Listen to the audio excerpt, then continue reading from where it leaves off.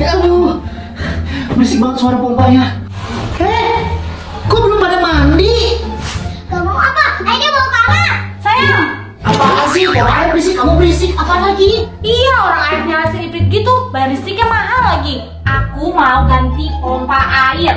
Udah sabar, sabar, aku mandi dulu. ah. Eh, buka mak. Ya kan? Ayo ganti pompa air. Eh, gitu dong, udah pada mandi.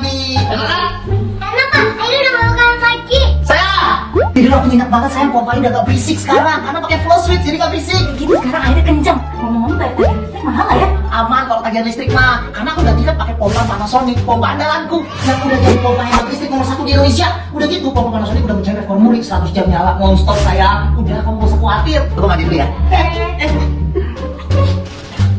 Masih mau karat? Ya sayang aku lupa, itu belum aku ganti kemarin.